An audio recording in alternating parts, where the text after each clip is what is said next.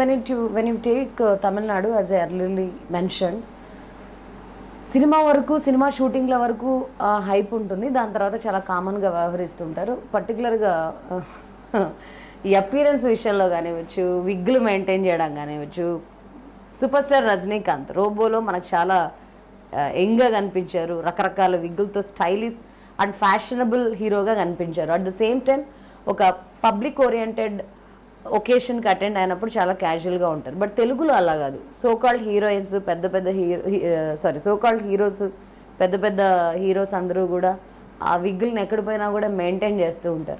Artificial బ్యూటీకి addict అవ్వడానికి కారణం ఏంటి? అంటే వాళ్ళు ఫీలింగ్ ఏంటంటే హీరోయిజము అనే దాంతోనే మనము ఇప్పుడు ఈ స్టేజ్కి వచ్చాం. ఆ హీరోయిజాన్ని బయటకు వెళ్ళినా మనం కాపాడుకోవాలి. సోనబాబు గారు సోనబాబు గారు విగ్ లేకుండా బయటికి రావడం అనేది మేము అప్పుడు చూడలేదు. మా అసిస్టెంట్ డైరెక్టర్గా డైరెక్టర్గా చేసాం ఆయన కంపల్సరీ ఆ గ్లామర్ మెయింటైన్ చేయాలి అనే టైపులోనే ఉండేవాడు. ఇప్పుడు తీసుకుంటే బాలకృష్ణ కానివ్వచ్చు రాజశేఖర్ బాలకృష్ణ గారు అంతే అంతే. రాజశేఖర్ అంతే. లో మహేష్ బాబు కానివ్వచ్చు. చిరంజీవి గారు కూడా చిన్న బిట్టు పెడతాడు కదా ఫ్రంట్లో. అంటే ఇది మీ సినిమా వాళ్ళకి హెయిర్ స్టైలిస్ట్లకి మన సెలబ్రిటీ సీక్రెట్స్ లాగా వాళ్ళ సీక్రెట్స్ తెలిసిన వ్యక్తులకు మాత్రమే తెలుసు ఇంక్లూడింగ్ విక్టరీ వెంకటేష్ అందరూ అలాగే మెయింటైన్ చేస్తారు.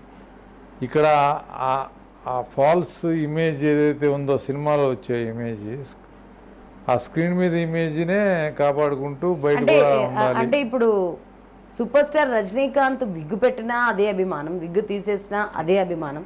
ఇక్కడ విగ్గులు తీసేస్తే అభిమానంలో ఏమైనా లోపాలు వస్తాయని భయపడతారు? భయపడతారు. వాళ్ళ ఇమేజ్ మారిపోద్దేమో అని భయపడతారు. ఇప్పుడు అసలు మొత్తం రజనీకాంత్ మొత్తం తీసేసి ఇచ్చే- అంత కామన్ మ్యాన్ లాగా ఉంటాడు. అట్లా అక్కడ అందరూ అట్లాగే ఉంటారు తమిళనాడులో మీకు. ఇక్కడ అలా లేదు. ఫస్ట్ నుంచి ఆ ట్రెండ్ ఇక్కడ ఈ విగ్గులు మెయింటైన్ చేయడం అనే దాంట్లో ఉంటుంది. ఈవెన్ హీరోయిన్స్ చూసుకున్నా కూడా వాళ్ళు బాగా. హెయిర్ స్టైల్ చేసుకుని అప్పుడు కొప్పులు అంతా చేసుకుని బాగా వస్తారు కానీ న్యాచురల్గా వద్దామనే ప్రయత్నించిన అమ్మాయిలు తక్కువ ఉంటారు. ఇప్పుడు వచ్చే కామన్ పీపుల్ అండ్ ఈ గ్లామర్ ప్రపంచానికి సంబంధించిన సీక్రెట్స్ తెలియని వాళ్ళు అదంతా వాస్తవం అనుకుంటూ ఉంటారు. అంతేగా మరి. Right sir coming to the cinema ఇప్పుడు ఈ మధ్యకాలంలో ఎలాంటి మూవీస్ చూశారు? ఏవి ఇష్టపడ్డారు? Which was your most to be frank. అంటే నేను ఆర్ఎక్స్ హండ్రెడ్ చూసిన తర్వాత బాగా లైక్ చేశాను. ఆ తర్వాత తెలుగు సినిమాలు ఏం చూడలేదు అనుకోండి ఈ మధ్య నేను. పెద్ద అంటే నేను అంత యాక్టివ్గా చూడల టు బి ఫ్రాంక్ యూట్యూబ్స్లో చూస్తుంటారు కదా ట్రైలర్స్ ఎక్కువ వస్తూ ఉంటాయి. అదే ట్రైలర్స్ లాంటివి అట్లాంటి బిట్లు చూస్తుంటాను కానీ ఫుల్ ఫ్లెడ్జ్డ్ సినిమా నేను చూసింది కూడా తక్కువే టు బి ఫ్రాంక్ ఇప్పుడు తెలంగాణ స్లాంగ్తో కూడుకున్న సినిమాలు ఎక్కువ వస్తున్నాయి. వస్తున్నాయి. అర్జున్ రెడ్డి చూసారా? ఆర్ఎక్స్ హండ్రెడ్ కన్నా ముందు వచ్చింది. అవును అర్జున్ రెడ్డి నాంది పలికిన సినిమా. ఆ- మూడు నాలుగు సినిమాలు చూశాను అతనివి. విజయ్ దేవరకొండ. విజయ్ దేవరకొండవి. అవన్నీ కూడా కొంచెం డిఫరెంట్గానే చేశారు. అంటే ఇప్పుడు వస్తున్న crop of directors they think differently మీరు ఒక ఇంటర్వ్యూలో చెప్పినట్టున్నారు ఈ సోషల్ మీడియా ఇంటర్వ్యూలోనే.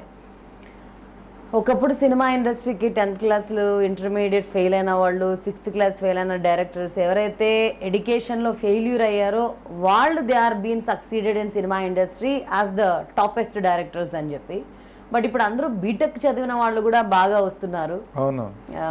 అంటే మహానటి తీసిన నేను ఎంఏ సైకాలజీ చేసినాను అప్పుడు వెల్ రెడ్ వెల్ ఎడ్యుకేటెడ్ ప్యాటర్న్లో మేము వచ్చాం. అప్పుడు మాకు తెలిసిన వాళ్ళందరూ కూడా టెన్త్ ఫెయిల్యూరు తర్వాత దొంగల డైలాగ్ ఉంది కదా సార్. మా వాడు చదువుకోవట్లేదు అంటే పోయి ఆ చెన్నైకో హైదరాబాద్కో వదిలేయచ్చు కదా ఫిలిం ఇన్స్టిట్యూట్లో సినిమాలన్నా చేసుకోవచ్చు అని. ఇప్పుడు ఎందుకు నేను రాఘవేంద్రరావు గారి దగ్గర శిష్యుడిగా ఫస్ట్ అసిస్టెంట్ డైరెక్టర్గా చేరినప్పుడు మా అంకుల్ని తీసుకెళ్ళారు. ఆయన యాక్చువల్లీ రాఘవేంద్రరావు గారు ప్రొడ్యూసరు. ఈ వేటగాడు కొండవేటి సింహం సినిమాలకి ఆయన కూడా one of the producer Kumarji గారు. తీసుకెళ్ళి మావాడు ఇట్లాగా ఎయిటీ ఫైవ్ పర్సెంట్ వచ్చింది marks. University best actor best director అంటే ఎయిటీ ఫైవ్ పర్సెంట్ అనేది బాగా రింగ్ అయిపోయి ఆయనకి. అంత బాగా చదువుకుని సినిమా ఇండస్ట్రీ ఎందుకే? ఏ టెన్త్ ఫెయిల్ అయిన తీసుకురావాలి కానీ అన్నయ్య నువ్వు ఇట్లాంటి వాడిని తీసుకొచ్చేయండి అని అన్నారు అంటే అప్పుడు అలా ఉండేవాళ్ళు నేను నాతో పాటు పనిచేసే అసిస్టెంట్ డైరెక్టర్ని కూడా చూసా. వాళ్ళందరూ కూడా చదువు సరిగా రాక మెడ్రాసు వచ్చిన వాళ్ళే చాలామంది. ఎందుకు ఇప్పుడు వరకు మీకు ఇప్పుడు కూడా చెప్తా? సీను ఇట్లా ఆవిడ intermediate range. V V Vinayak degree కానీ డిస్కంటిన్యూడ్ టైపు.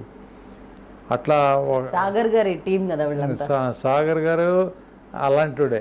టెన్త్ కూడా అయి ఉండదు. ఈవెన్ రవికుమార్ చౌదరి కూడా వాళ్ళ టీమే. ఏఎస్ రవికుమార్. చౌదరి మీరు చెప్పి ఇదంతా ఆ ప్యాటర్న్ ఆఫ్ పీపుల్ని చూసాం మేము. అంటే నేను సీనియర్ కేంబ్రిడ్జ్ చదివానండి కేంబ్రిడ్జ్ యూనివర్సిటీ మా ఎల్పిఎస్ కదా అది అక్కడ. మేము అప్పుడు షేక్స్పియరు థామస్ ఆడి ఆ, కీట్స్ అంటే మీరంతా బుక్ షెల్లీ, నాలెడ్జ్ ఎక్కువ సంపాదించుంటారు. ప్రాక్టికల్ నాలెడ్జ్ ఎక్కువ సంపాదించు విపరీతంగా. మాస్ రాజాలు కూడా చెప్పా. వాళ్ళు ఎందుకు సక్సెస్ అవుతారంటే వాళ్ళు కామన్ మ్యాన్తో కూడా సినిమా చూశారు. కాబట్టి వాళ్ళ కామన్ మ్యాన్కి ఏం కావాలో వాళ్ళకి తెలుసు. వాళ్ళు కూడా వాళ్ళ కామన్ మ్యాన్లో ఒకళ్ళు. మేము వెల్ రెడ్ మాకు చాలా ఎక్కువ తెలుసు. జిడ్డు కృష్ణమూర్తిలా తెలిస్తే ఎందుకు? కిందకి దిగలేము పైకి వెళ్ళలేము. నేను ఆ ఫస్ట్ ఫిల్మ్ అమ్మాయి చక్రవర్తి అనేది అప్పుడే సై సైకలాజికల్ ఫిల్మ్ అండి. ఆ cinema Vijayashanti Chandramohan. Utter flop అయింది. విజయవాడ అప్సా థియేటర్లో రికార్డు ఉన్నది. పదమూడు రోజులు మాత్రమే ఆడింది. పద్నాలుగో రోజు ఆడలా. రెండో వారం ఇంకో రోజు ఉండగా తీశారు అంటే అంత ఫ్లాప్ అయిందంటే ఆ సినిమా ఎవరికి నచ్చలా? సైకాలజీ చెప్తే సినిమాల్లో వాళ్ళకి ఎందుకు నచ్చుతుంది? చంద్రమోహన్ కామెడీ చేయాలి. విజయశాంతిని అందంగా చూపించాలి. అంతే తప్పితే అట్లా నేను పారిపోయిన గద్దెలు సినిమా తీశాను అది ఇరు- Irving Wallace novel fan club అని.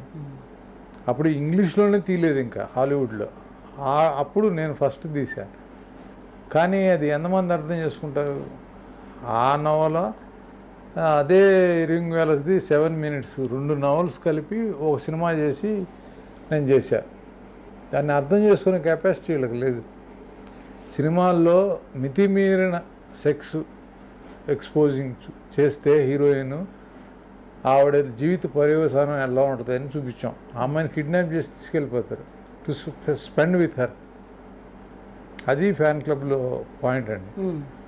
నలుగురు like Dirty Picture like similar to Dirty Picture Dirty Picture అంటే అది ఒక రకంగా సిల్క్ స్మిత లైఫ్ ఉంది తీశారు. ఇదేంటంటే ఒక సినిమా ఆర్టిస్ట్ని కిడ్నాప్ చేసి తీసుకెళ్ళిపోతారు. You spend fifteen days with us we'll enjoy with you afterwards నేను తీసుకెళ్ళి మళ్ళీ వదిలేస్తాం.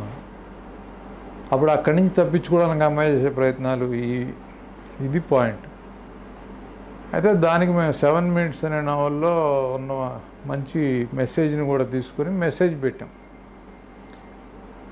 మితిమీరకూడదు సెక్స్ సినిమాల్లో ఎంతవరకు ఉండాలో అంతవరకు ఉంటే బాగుంటుంది అనేది మా ఉద్దేశం యాక్చువల్లీ ఆ సినిమాలో మేము. చెప్పింది. అవన్నీ చూడండి. మనం ఆ చక్రపాణి గారు ఆ రోజుల్లో చెప్పారు చిన్నప్పుడు మనం ఏదైనా సందేశం ఇవ్వదలుచుకుంటే ఓ వెయ్యి టెలిగ్రామ్లు తీసుకొచ్చి మన సందేశాన్ని టెలిగ్రామ్ రూపంలో ప్రజలకు పంపించేయండి. కానీ డబ్బులు డబ్బులు పోసి సందేశాలు ఇవ్వద్దు. సినిమాలు తీసి డబ్బులు పోసి సందేశాలు మనం ఇవ్వాల్సిన మనవరం. అలాగే ప్రభాకర్ రెడ్డి గారు అనే ఆర్టిస్ట్ ఉండేవారు. ప్రభాకర్ రెడ్డి గారు నాకు నా సెకండ్ ఫిల్మ్ తోడు నీడ అని సోమబాబు రాధిక చేసినప్పుడు ఆ సినిమా అయిపోయిన తర్వాత ఆ సినిమా ఫ్లాప్ అయింది. యాక్చువల్లీ ఇండస్ట్రీలో మంచి పేరు వచ్చింది చాలా బాగా తీశారని. కానీ సినిమా ఆడలా. ప్రభాకర్ రెడ్డి గారు నాకు చెప్పారు మనకి మేధస్సు ఉండొచ్చు తప్పులేదు. కానీ మన మేధస్సుకి పైన మనమే ఒక ఇది కొట్టుకోవాలి. కొట్టుకుని అక్కడ ఆపేయాలి. కామన్ మ్యాన్ లెవెల్కి పడిపోవాలి. పడిపోయి తీస్తేనే హిట్ అవుతుంది. లేకపోతే even the same formula is applicable in politics also constituency ఎమ్మెల్యేలు ఏ ఎన్ఆర్ఐలో లేకపోతే యూఎస్లో చదువుకొచ్చి ఇక్కడ మాట్లాడితే కామన్ పీపుల్కి కామన్ పీపుల్తో కనెక్ట్ అవ్వలేరు మింగిల్ అవ్వలేరు. బట్ అదే కాన్స్టిట్యుయెన్సీ ఉన్న ఒక చిన్న వ్యక్తి లీడర్గా మారితే వాళ్ళు ఓట్లేసి గెలిపించుకుంటారు. అవును. ఇప్పుడు ఎందుకంటే ఈ ఎన్ఆర్ఐ అనేవాడికి వాళ్ళ కష్టాలు నష్టాల గురించి ఎక్కువ తెలియదండి. వాళ్ళ మింగిలేవాలి కదా. ఆడు ఆ చిన్నవాడైనా ఆడు ఆ ఊరోడైతే ఆడికి ఆ ఊర్లో ఉన్న ప్రాబ్లమ్స్ అన్నీ తెలుసు. వాడైతే మనకు హెల్ప్ చేస్తాడనే ఫీలింగ్ ఉంటుంది. మాస్ ఓరియంటెడ్గా తీసామనుకోండి అప్పుడే నేను రాఘవేంద్రరావు దగ్గర పనిచేసి ఎన్టీ రామారావు సినిమాలు పనిచేసిన వాడిని అప్పుడు ఆ టైప్ ఆఫ్ మీద కాంబినేషన్ యాపిల్ కూడా వేయడం తెలిసి ఉండాలి అదే అది తెలుసు హండ్రెడ్ పర్సెంట్ తెలుసు నో డౌట్ అబౌట్ ఇట్. అలాంటి సినిమాలు చేస్తుంటే కృష్ణ గారితో సినిమా చేశాను అనుకోండి డెఫినెట్గా I know how to handle him. Dealt with the subject commercial subject ఎలా తీస్తే బాగుంటుందని తెలుసు. కానీ ఆ ప్యాటర్న్కి వెళ్ళకుండా నా ఓన్ టేస్ట్ పాయింట్ ఆఫ్ వ్యూలో వెళ్ళటం I never met with success అంటే నాకు ఇన్నింగ్స్ బ్రేక్ అయిన తర్వాత అనుకోకుండా నేను ఆర్టిస్ట్ అయ్యాను. యాక్చువల్లీ నాకు ఆర్టిస్ట్ ఇంట్రెస్ట్ లేకపోయినా కూడా తప్పనిసరి పరిస్థితుల్లో సరే తప్పని పరిస్థితి పరిస్థితుల్లో మీరు యాక్టర్ అయిపోయి కొన్ని వందలకు పైగా సినిమాలు చేసినప్పుడు మళ్ళీ ఎందుకు గ్యాప్ తీసుకున్నారు? మీరు ఒక ఇంటర్వ్యూలో చెప్పారు I don't have proper PR అవకాశం వస్తే చేస్తాను లేకపోతే అవకాశాల కోసం నేనేమి అవకాశం నా నా దగ్గరికి వస్తే చేస్- మనస్తత్వం అండి. కానీ ఇప్పుడు జమానా మారింది కానీ సార్. మనం కూడా చెప్పండి ఒకళ్ళని పెట్టుకుంటారు కాల్ షీట్లు చూడటానికి. వాడు వెళ్ళి వాడే వేషాలు పట్టుకొస్తాడు. వాడికి ఇంత కమిషన్ ఇస్తారు. ఆ ప్యాటర్న్ మనకి అలవాటు లేదు కొన్ని అలవాట్లు చేసుకోవాలి కదా. అంటే అంటే ఇప్పుడు కొంతమందికి కొన్ని ఉంటాయమ్మా. మనకి ఒక సిస్టమేటిక్గా ఉండటం అనేది అలవాటైంది అనుకో మన క్యా క్యారెక్టర్కి. అలాగే ఉంటాం. ఫర్ ఎగ్జాంపుల్ అంటే ఏనుగు చచ్చినా బతికినా వెయ్యి రూపాయలు. యాక్టివ్గా ఉన్నారు మీ వాయిస్ బాగుంది అపియరెన్స్ బాగుంది స్క్రీన్ మీద కనిపించే ఛాన్సెస్ ఉన్నప్పుడు వై డోంట్ యూ ట్రై. మీకు ఇంకా ఈజీ కదా ఇప్పుడు విజయ్ బాబునాయుడు గారు నేను ఉన్నారు. ట్రై చేయక్కర్లా. నేను ట్రై నేను ట్రై చేయను. I I want to do my own productions. Yeah yeah. అంటే టీవీ కానీ ఫిల్మ్స్ కానీ ప్లాన్ ఫర్ వెబ్ సిరీస్ ఇప్పుడు వెబ్ సిరీస్ కూడా ఒకటి అనుకుంటున్నాం వెరీ షార్ట్లీ నాకు కొంచెం ఏంటంటే ఈ ప్రాపర్టీస్ ఇష్యూస్ కొన్ని ఉన్నాయి. అవన్నీ క్లియర్ చేసుకుని ఐ వాంట్ అంటే వెబ్ సిరీస్లో మిమ్మల్ని చూడొచ్చా? Hundred percent second innings through web series yes yes yes